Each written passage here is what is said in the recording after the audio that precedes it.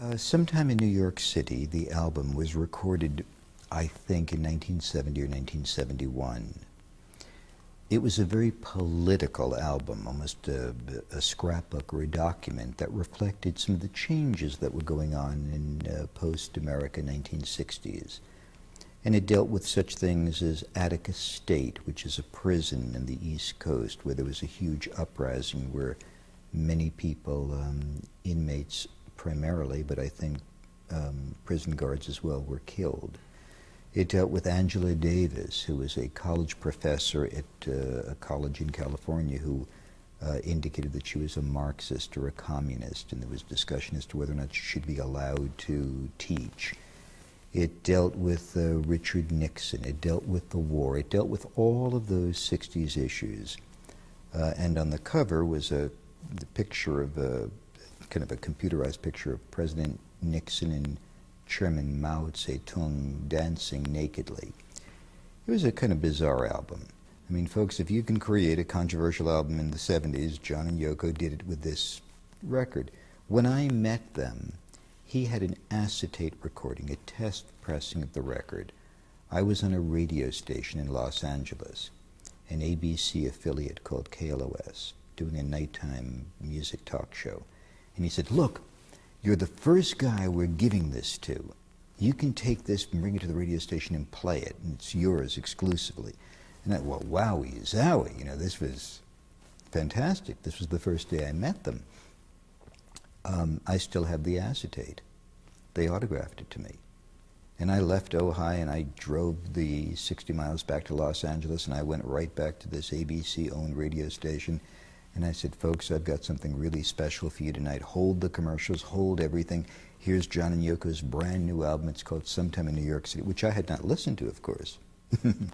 and uh, gave it to the engineer. He put it on the turntable. Uh, he pushed play, and it played with all of those songs and all of that imagery.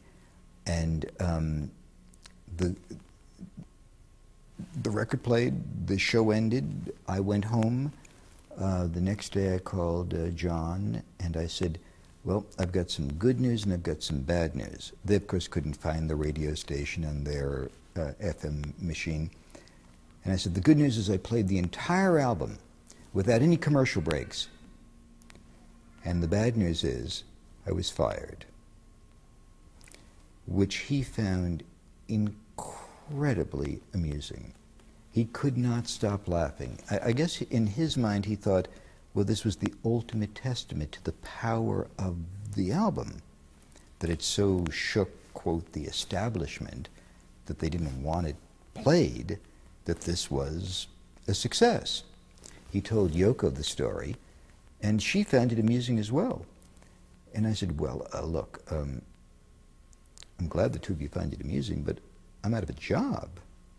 He said, oh, come, come with us. We're going to drive up to San Francisco uh, tomorrow. Uh, you, you, just come with us and hang with us. You got, you got nothing better to do.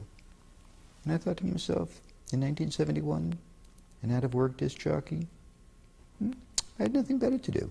So we went to San Francisco. We spent a week there, and we really got to know each other. We stayed at a hotel called the Miyako.